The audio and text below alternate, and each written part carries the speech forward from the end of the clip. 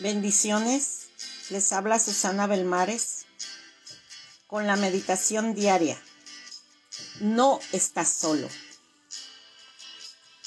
Dios a través de su hermosa palabra nos recuerda que Él tiene el control de nuestra vida. No estamos solos. Tu desesperanza, la situación por la que hoy estás pasando, tal vez te hable a tu mente y te diga, estás solo. No hay nadie que pueda ayudarte. No hay nada que hacer. Mira a tu alrededor y verás que estás solo a merced de tus pensamientos, temerosos y ansiosos, porque no encuentras la salida. Esos pensamientos son las semillas de temor y ansiedad que el maligno ha sembrado en tu mente para que fructifiquen los pensamientos de soledad, de tristeza y temor que sigan tus ojos espirituales para que no veas que a pesar de tu situación, Dios sigue teniendo el control de ellas. Clama a Él y Él te responderá. Saldrá la luz en tus tinieblas, la cual guiará tu camino con su luz verdadera. Verás que no estás solo Pon tu vida en sus manos, confía plenamente en Él y Él actuará a tu favor. Sigue adelante, porque no estás solo.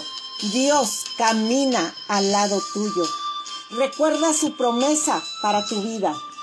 Esfuérzate y sé valiente.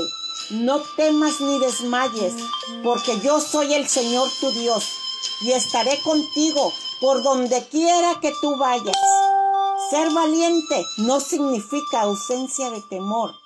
Todos los hombres hemos sentido miedo alguna vez. Pero ser valiente es el valor de seguir adelante a pesar de nuestros temores y sobre todo recuerda esta promesa. Sabemos que los que aman a Dios, todas las cosas le ayudan a bien. Esto es, a los que conforme son llamados. No importa lo que estés pasando, porque de esa situación Dios lo transformará en algo bueno para ti, venciendo al maligno que te quiso destruir para alejarte de Dios. El maligno te hará tropezar, pero Dios estará contigo para no dejarte caer y darte su fuerza y su justicia para vencerlo. Recuerda, resistid al diablo y él lo irá de ti porque el maligno no tiene la capacidad ni el poder para vencer a un verdadero Hijo de Dios. Amén y amén.